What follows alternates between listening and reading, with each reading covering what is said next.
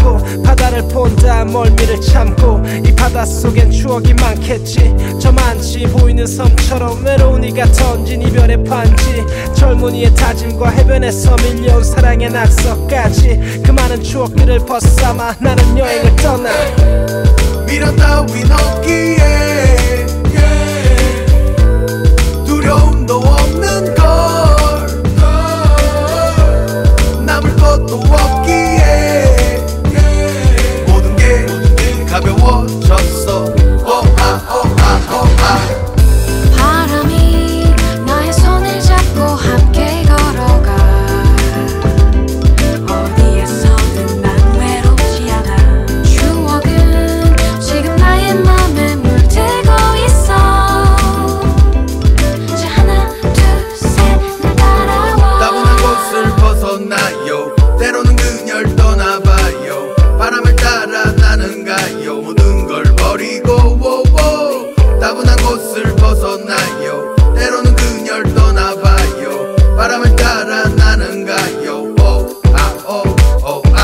경적 소리 사람들 걱정의 소리 결정해야 하는 중요한 순간들.